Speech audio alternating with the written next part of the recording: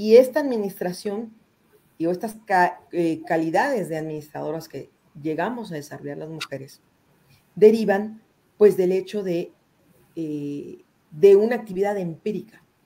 En ningún lado nos han venido a enseñar ni qué son las finanzas personales, ni qué son, ni qué es un presupuesto personal, ni cómo llevar el balance de ingresos y gastos, ni el hecho de saber que si no tengo capacidad eh, clara cuál es mi capacidad de pago, no debo generar un eh, mayor nivel de endeudamiento. Si tengo una tarjeta de crédito, tener claro que esa tarjeta de crédito no es un dinero este, regalado, es un dinero prestado que tiene un costo. Y si lo uso, voy a pagar ese dinero y algo más.